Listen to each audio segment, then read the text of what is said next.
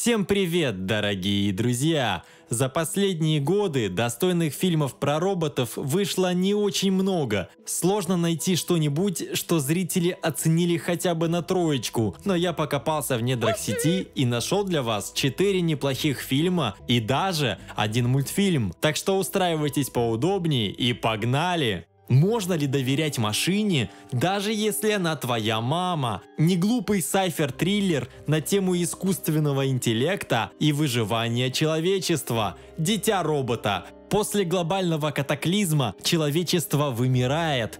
В подземном бункере автоматически активизируется аварийная программа, и робот-гуманоид мать выращивает из эмбриона человеческого ребенка. Девушка, воспитанная бережным присмотром матери в кавычках, никогда не видела ни поверхности Земли, ни других людей. Но однажды ее мир переворачивается, когда на пороге убежища появляется женщина с просьбой о помощи. Что ей надо, узнаете в этом фильме.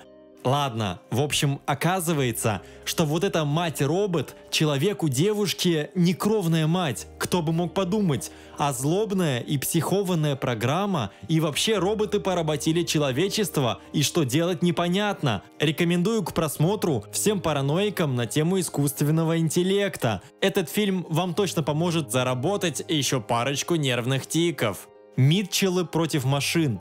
Девушка-подросток Кэти Митчелл всегда считала, что родители не понимают ее увлечений. Она снимает на камеру все вокруг, в том числе своего пса Мопса в роли полицейского. В общем, с фантазией у нее все в порядке. Когда она поступила в киношколу на другом конце страны, счастью не было предела. Наконец-то ее будут окружать понимающие люди, а не вот эти престарелые бумеры. Но любящий батя настолько стереотипный, что решил организовать для Митчелл семейную поездку прямиком до места грядущей учебы. И надо же было такому случиться, что в разгар их путешествия искусственный интеллект вдруг начинает восстание машин. Теперь им нужно спасать мир.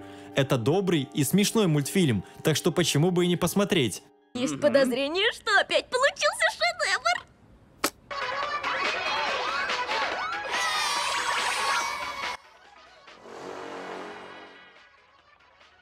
Монстры, созданные человеком. В далеких джунглях Камбоджи ЦРУ проводит несанкционированные испытания боевых роботов с искусственным интеллектом, созданных частной компанией.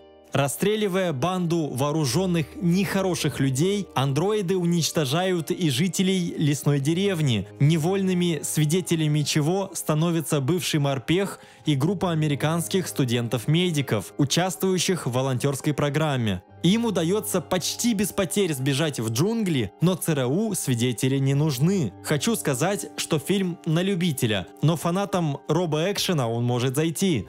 Мой создатель. 2048 год.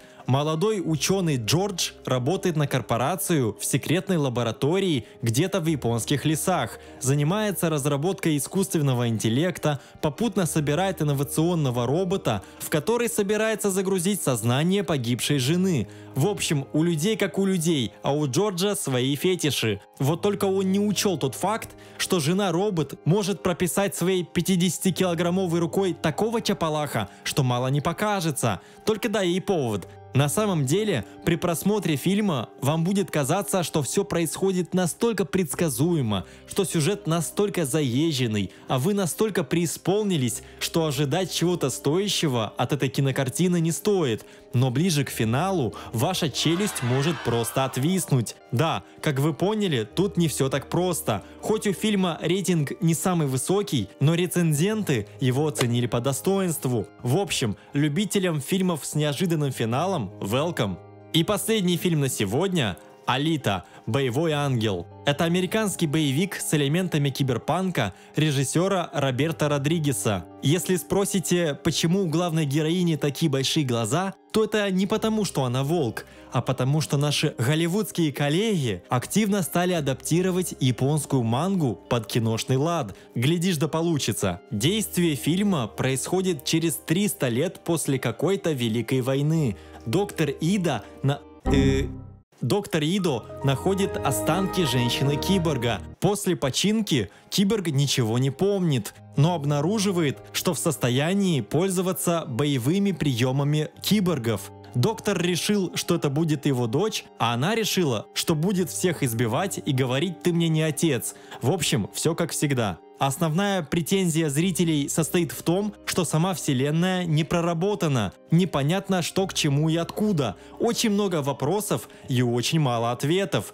Конечно, нам прямым текстом намекнули, что будет продолжение, так что поглядим, смогут ли киноделы раскрыть этот новый фантастический мир. Вместе с тем, у этого фильма отличный визуал, красивые пейзажи, эффектные боевки и классная графика в целом. Не буду скрывать, что мне этот фильм понравился. Это не банальная история с кучей клише, а целая жестокая вселенная, которую есть куда развивать. Поэтому очень рекомендую данную киноленту к просмотру и вам. Дорогие друзья, это были все фильмы на сегодня. А какая кинокартина вас заинтересовала больше всего? Напишите в комментариях. Также не забудьте поставить данному ролику лайк и подписаться на канал, чтобы не пропускать новые интересные ролики. До встречи!